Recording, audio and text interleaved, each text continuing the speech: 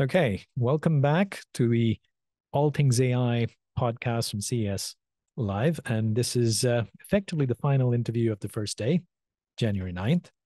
And our guest is uh, the founder and CEO of Teksun, Brijesh Kamani. Welcome, Brijesh. Thanks for inviting. And uh, it's uh, great to be part of the podcast. Great. Um, do you want to tell the audience a little bit about yourself and Teksun? Yeah, definitely.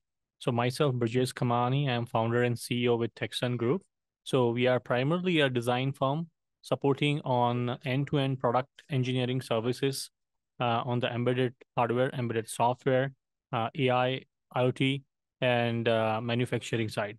So we take a complete turnkey as a ODM approach where we build the entire electronics product, uh, be it uh, onto the consumer side of a product, automotive product, healthcare product, fitness product, uh, and security and surveillance. These are the areas where we do contribute designing a different products and uh, support with the prototypings, certification, and manufacturing. So, do you want to give us a little bit on what kinds of customers you have? Any big names that you'd like to talk about that you've already announced? Definitely. So, part of uh, our journey uh, in this area, we've been working very closely with uh, most of the silicon companies uh, in terms of as a silicon company as a partner and uh, as a customer as well. We work with uh, ST Microelectronics, we work with uh, Qualcomm, we work with uh, Renesas, and we do work with the different other silicons for design to manufacturing uh, kind of an approach. And on a customer uh, side, we work with uh, enterprise customers, SME, and startup, all set of a customer. That's a pretty wide range, and seems like a lot of your customers and partners will be at CES. So, how many times have you been to CES, and what do you think about CES 2024 so far? How's it different? Uh, I've been to CES uh, mostly every year from last 10 years. And uh, this time uh, it's great to see a lot of uh, movement is happening towards the automation, making life easy and safe. So on the safety side, I can see a lot of movement has been uh, done. If you see in the electric vehicles and automation, the way automotive industry is moving, it's much faster than the previous pace uh, and there's a great uh, uh, opportunity for everyone to do the automation on the IoT and artificial intelligence. And the AI is now coming to most of the product and uh, most of the areas and the use cases of the normal uh, human life. So there's a lot of uh, things that uh, we are seeing to this time when CES in the artificial intelligence. That sounds, I think we see the same uh, what I would ask then is, as I mean, you've been doing this for a while, you've been working um, on this. What are the challenges to scaling um, AI in, uh, especially the edge, right now? So the uh, thing that everybody talks about AI, uh, it is very important to understand that the complete life cycle, the way uh, AI or the machine learning uh, has to be built uh, in the product. So it is important that before moving forward and making an entire product uh, with the AI feature, doing the initial minimum viable prototyping and testing the performance over there. The second part is uh, building the model uh, with the right framework and the right silicon that supports that. So that compatibility is very, very important. And once that has been identified and built, uh, it is important to tune that. Uh, so tuning of those uh, hyperparameters and uh, model is very, very important. Uh, these are little technical terms. Uh, but once that has been done, the deployment, and then how do we make sure that those models really gets real-time updates as well. So distribution has to be planned properly.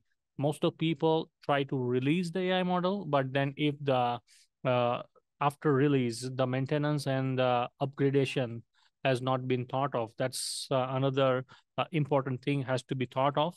And talking to move these models on the edge, it is very important to understand the particular edge uh, neural processing capacity and how do we you know do the architecture design over there because if your host cpu is continuously busy with processing the video or audio feed or the data for the machine learning side then the host cpu can malfunction on the main functionality so it is always recommended that the host to focus on the host activity and the neural processing should happen on the separate silicon or on the separate core uh, that's the best approach to deal with. And once this has been deployed, which is you know your primarily a machine learning has been deployed, uh, another next level uh, to make it a pure AI is how to do uh, auto ML pipeline and how to connect that for the continuous machine learning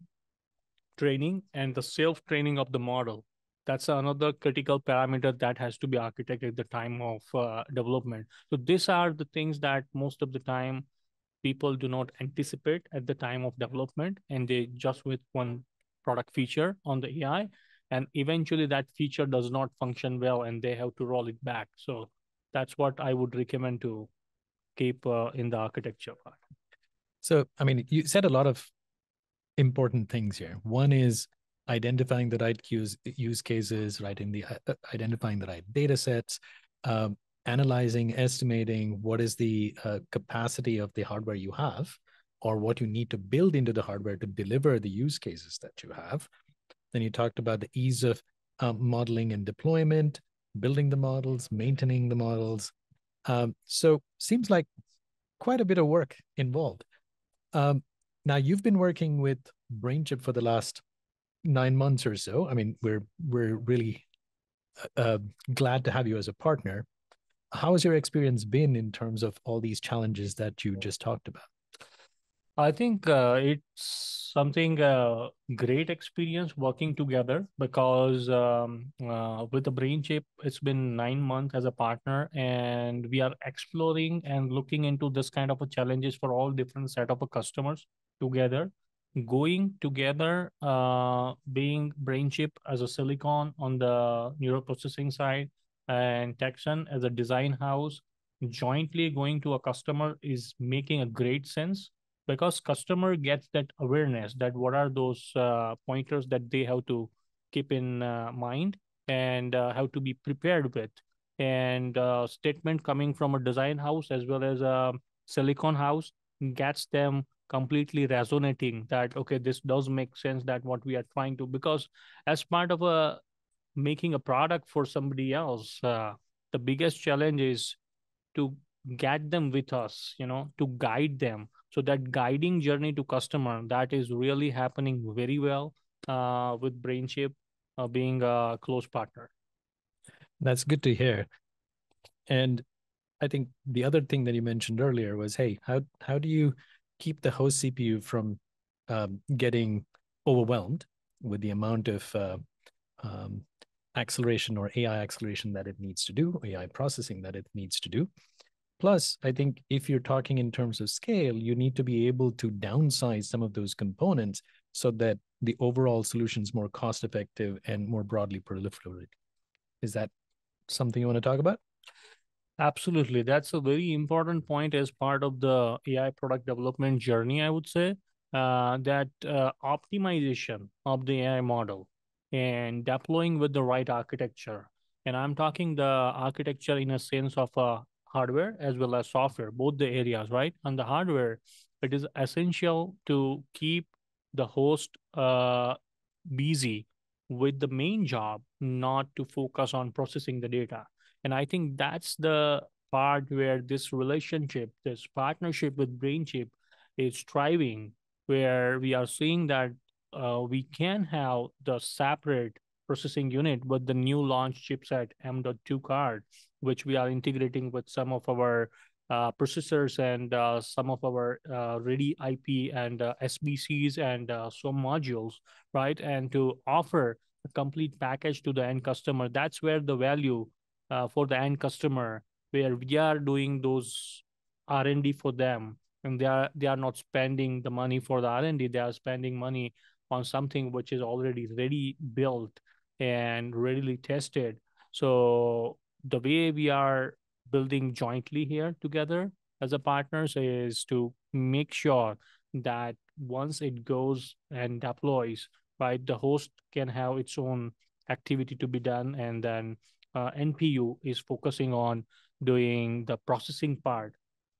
And part of the architecture we are trying to build here is having a multiple option. So if there is a more need of a more AI to be processed, there's a more separate parallel M.2 interface can be, or the card can be plugged in that can solve the multi uh, needs or multi video stream to be processed. So that's where the value creation is happening. Yeah. So now, if you can start using multiple video streams, potentially other sensor input uh, through uh, something that's neural processing, leaving the host processor to focus on what it needs to do in terms of post processing, uh, managing streams, so on and so forth. Um, where do you see these types of applications um, going?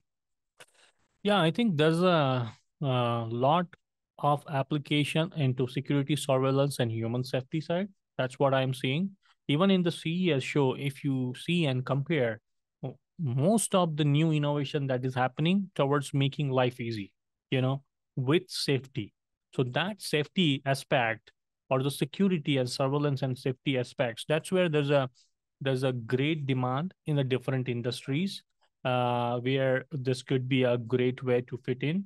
Also, if you see the new vehicles in the automotive, that comes with a lot of cameras, you know. Previously, it was like a one camera on the backside of the car just to back it up, right? Uh, but now, if you see in the new cars, it's like eight cameras, 10 cameras, it's a surround view, things like that. So when we are seeing there's a lot of cameras and video data and processing is coming, right? And then autopilot and kind of a feature where uh, AI is crucial. Uh, so in this kind of an application, having this kind of approach, having a separate NPU, processing those streams on the data separately and keeping the host uh, focused towards decision making uh, part, that's kind of an application I can see on the safety side uh, so sounds like a a lot of exciting prospects and uh, a lot of work to do at the same time. So Rajesh, thanks for coming to the podcast and giving us your insights. And we very wish you the very best for the rest of CES and of course all of 2024. Thanks a lot. It was a great uh, talking and sharing the thoughts. Thank you. Thanks.